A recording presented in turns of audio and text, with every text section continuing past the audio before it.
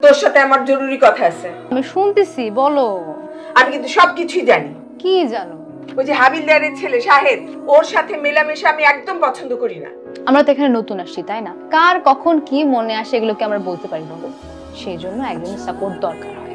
সেই জন্য একজনের সাথে কথা বলছি। এর থেকে বেশি কিচ্ছু না এর থেকে বেশি ভাইবো না মা। আপনি? এখনও আমার পিছু পিছু ঘুরঘুর করতেছেন? আমাদের কলোনির ছেলে পেলেগুলো তো ভালো না। পাহারা দিচ্ছেন? হ্যাঁ। দিতে থাকেন তাহলে পাহারা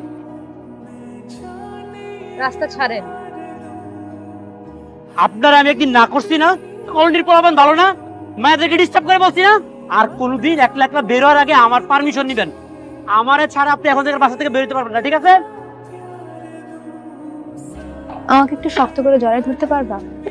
পারব কিন্তু আমার একটা শর্ত আছে। আমি যখন তোমার জড়ায় ধরবো তুমি কখনো কোনো দিন আমার ছাড়া যেতে পারব ছাড়বো কারণ সব ছাড়তে পারলে এই পাগলের মায়াকে আর ছাড়তে পারব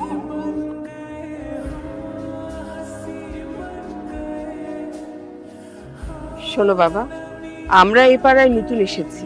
আমি এক স্কুল টিচার টিচার হিসেবে এ পাড়ায় আমার একটা মান সম্মান আছে। আমার মেয়েটা এখনও অনেক ছোট। তোমরা পড়ালেখা করো তারপর না হয় এটা নিয়ে ভাবো। আমি চাই না জুইকে নিয়ে তুমি আর আগে কিছু ভাবো। লেখাপড়া করে বড় অফিসার হবি না? আমি বড় অফিসার হইলে আমার আম্মারে কি কি কিনা দিতে হবে বলো তো? আমার একটা গাড়ির শখ। মানুষে গাড়ি দিয়ে ঘুরে আমার ভালো লাগে।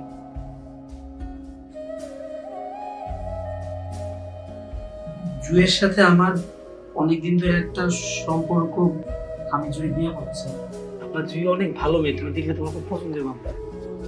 আব্বা, তুই যেমন দুনিয়াটারে বালা মনে করস, সবতে কি আর তোর মতো বালা? দুই দিন ধরে আর কি একটা পোলার আব্দুরে বাড়িতে গেছে গা। আর কলোনির যে পরিবার তারা বলে সরম লজ্জায় কলোনি ছেড়ে গেছে গা। এইটা নিয়ে আব্বা চিন্তা করিস না এগুলি জীবনের অংশ, এটি হইতেই পারে। মাথার থেকে এটি বাদ দিলাম এই সেরি মনে কর, তোর যোগ্যই না। তোরা শুধু ভাব দেখাইছে। আব্বা জুই এরকম মেয়ে একদমই না। জুয়ের সাথে আমার অনেকদিন ধরে কথা হয়েছে আমার কথা দিছে আম্মা। আমি এখন গিয়ে জুয়ে জিজ্ঞেস করে যা আমি- আমি এখন গিয়ে জুয়ে জিজ্ঞেস যা যা যা যা সাহেব!